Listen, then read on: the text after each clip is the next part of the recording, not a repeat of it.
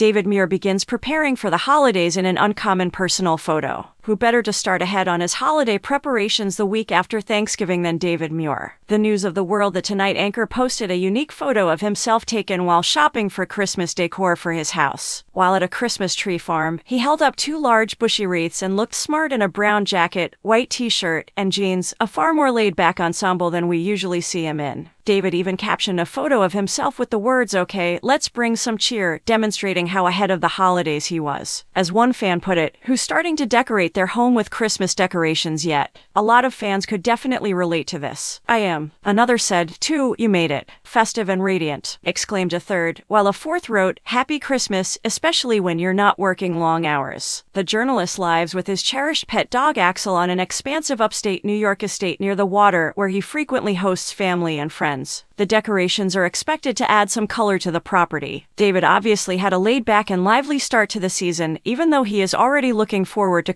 Christmas and more holiday fun. The previous Thursday, the ABC News anchor shared a lovely picture of his older sister Rebecca in observance of Thanksgiving. They really do look alike. David posted a photo of his brother laying the table for supper on Instagram stories. Rebecca set up a bouquet of flowers as the centerpiece, looking stunning in a black top.